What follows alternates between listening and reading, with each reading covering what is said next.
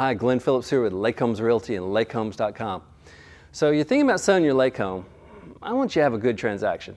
And one thing I want you to do is, is I want to share with you what lake home buyers just don't care about. They just don't. But many sellers do, and it's to their detriment. It helps, it helps kill deals. It helps get you a price you didn't want.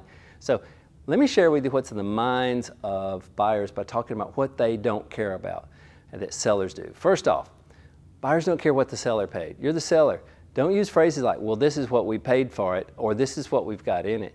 I doubt you thought about that when you bought it. I doubt you went and said, I'm going to buy this, this lake home and I need to be sure I'm paying them what they've got in it. No, you wanted the best price. Well, so do today's buyers. So uh, getting stuck on what you've got in it is irrelevant of the current market. Maybe you can make more money, maybe you don't. But the market changes and the market will set your price that will sell. Not, you can set a price that doesn't sell but they don't care what you paid for it or what you got in it. Number two, you know, you may be as a seller thinking about, look at, I set my price based on what all these other homes around me who are for sale are listed at.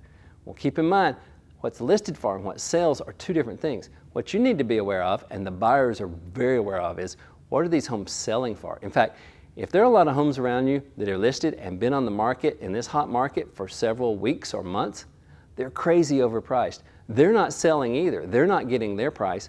Don't repeat their bad mistake. Number three, uh, don't get stuck on your personal effort on customization. We tend to overvalue things we worked on with our own hands or, or spent money that was hard earned. And buyers, again, the house is the house.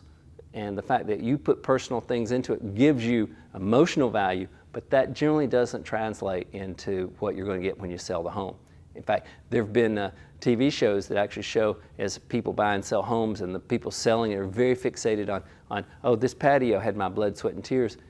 And the buyer's actually telling on camera, we're going to rip that out. It's actually going to cost us more money out of our pocket than if they hadn't done this change. So don't presume everybody's going to love your customization, no matter how much you love it. Number four, don't price your home about rumors of some outlier crazy price your neighbor got for their house. The buyers don't care about it. Even if it was a true transaction, it's an outlier. It's like a lightning strike, a lottery win. Good for your neighbor if they got it.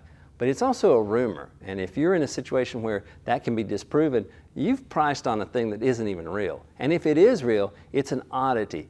Somebody was crazy enough to pay over market for a house, your odds of finding another crazy person are not real high. In fact, many times crazy people want to pay less. So uh, finding a rich, crazy person to buy your house is not a good business strategy to get the maximum price for your house. And my last tip about what buyers don't care about uh, is you taking a low offer personally. I see so many failed negotiations where the seller goes, I'm insulted by this low offer. I'm not even going to respond. I'll tell you what's insulting no offers. Nobody made an offer on your house. That's insulting. At least somebody got a negotiation started. Don't be the one to end it because you got your feelings hurt counter it. Maybe it gets a no. Make them respond. But this is a business negotiation for an investment of sizable amount of money. It's not, I love my house and you need to love it too, and you need to represent that with a big offer. So taking the personal piece out of it, turning a business transaction, all these things are things buyers don't care about. I see too many sellers get stuck on them and it hurts them getting the best value and a timely transaction. So keep them in mind as you price and go through the process of selling your lake home.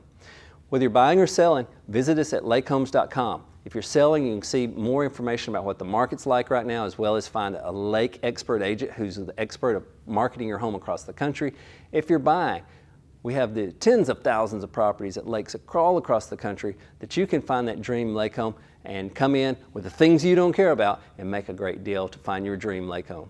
Hope this information's been helpful. Have a great day. For more information, be sure to check out lakehomes.com.